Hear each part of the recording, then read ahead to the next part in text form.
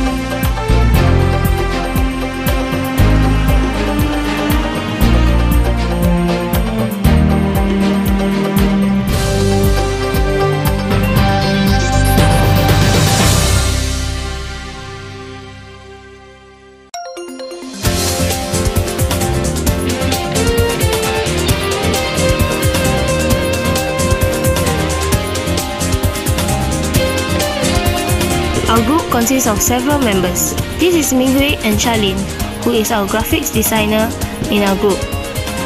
Minghui has been strongly taken part in several competitions since the beginning of the year.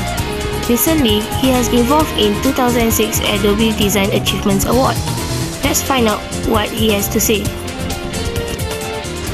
I feel very delighted to take part in 2006 Adobe Design Achievement Awards. It enables me to showcase my creativity and designing skills. But overall, I'm happy to gain experience from it. But I would also like to learn different style and drawing technique. If possible, I would like to further my studies in the graphic designing field.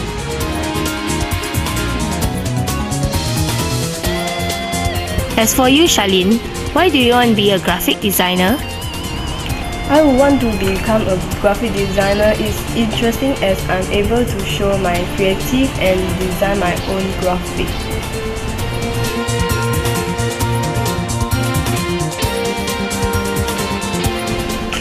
Now let's take a look at the animators.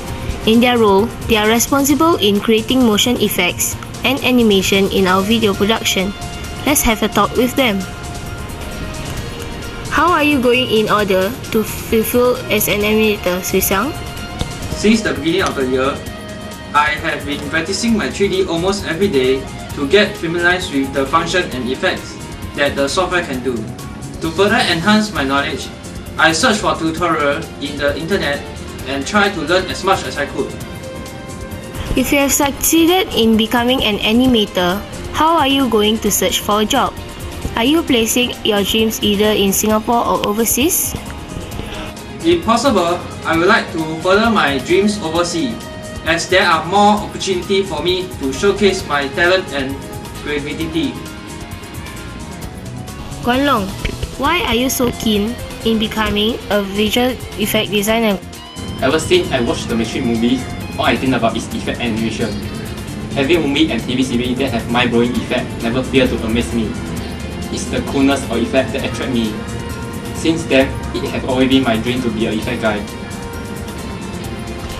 As we know that in Singapore, there are limited educational skills in visual effect. What other option if you fail to pick up the skills? Like I said before, all I think about is animation and effect. So if visual effect doesn't work out for me, I choose animation to choose from.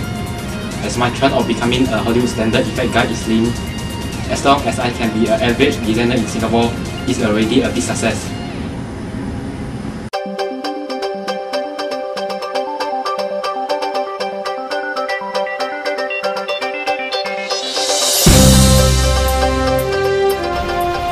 Sound, one of the most important element in the video field. They are able to bring mood and impact to the audience and bring the entire video into life. Let's get to find out more about our sound engineer, Wei Xiao. As your father is a sound engineer, do you have any intention of inheriting your father's occupation? I have thought of being a sound engineer so that I can help out my father's job after he retired. There are less people interested in the sound production. What motivates you? I'm curious by the way people create their sound and music, how they digitize using many equipments and software, how they produce out many effects which motivates me. We will look at the post-production department.